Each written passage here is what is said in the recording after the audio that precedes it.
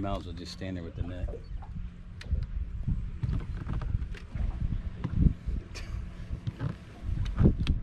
That would be hilarious.